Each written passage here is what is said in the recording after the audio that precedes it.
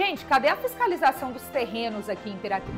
Você está vendo essas imagens? Olha, elas foram feitas na rua Iracema, nas proximidades do centro de convenções e de uma faculdade particular aqui de Imperatriz, bem no centro da cidade. O terreno está sendo transformado em um lixão a céu aberto, uma situação que é perigosa para os moradores da região e deixa a cidade com esse aspecto sujo, feio.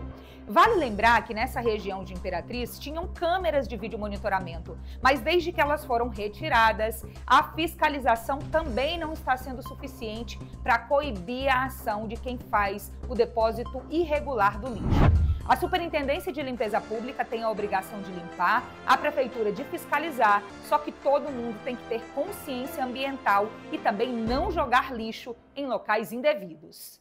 Oferecimento Ortoclin, ortopedia e traumatologia. Cuidamos da sua reabilitação.